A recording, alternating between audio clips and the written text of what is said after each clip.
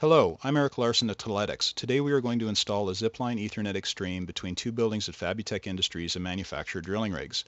Fabutech needed a network connection between their main office and manufacturing buildings and chose the Zipline Ethernet Extreme as a faster to deploy, lower cost option when compared to trenching or additional telco services. Everything needed to complete our Zipline Ethernet Extreme installation comes in one box. Notice that there are two outdoor units marked master and remote. First, install the master radio at the main location where there is already internet service. Mount the L bracket to the back of the outdoor unit, ensuring that the bracket will hold the antenna vertically when the antenna is held so you can read the Zipline logo. Install the J-mounts at the desired location on both buildings and run the supplied weatherproof Category 5E cable from the inside communications rooms to the J-mount locations.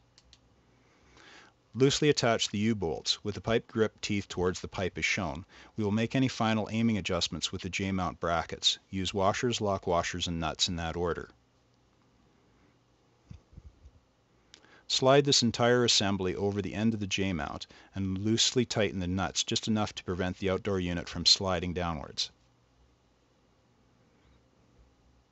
Before doing final tightening of the nuts, try to visually aim the center of the outdoor unit to point at the other Zipline Ethernet Extreme.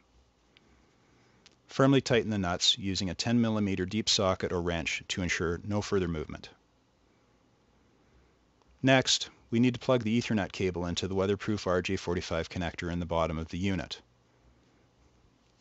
The weatherproof Ethernet cable gland assembly details are contained in the manual, but you will notice that our installer simply puts the supplied cable through the gland into the RJ45 connector in the bottom of the outdoor unit and hand tightens the gland.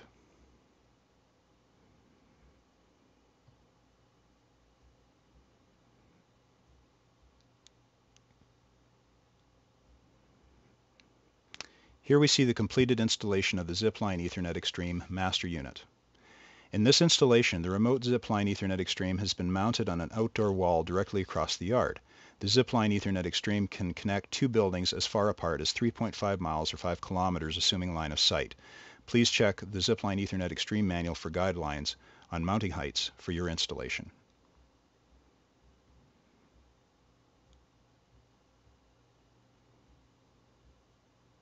Since there are various standards for power over Ethernet, Teletics recommends using the PoE injectors and wall adapters supplied. Connect the Zipline outdoor unit to the port marked PoE, your office network to the port marked LAN, and connect the power adapter lead on the side. When you power up both Zipline Ethernet extremes, they will automatically create a bridge between the two buildings. So that's it, a high-speed Ethernet connection between two buildings in under two hours.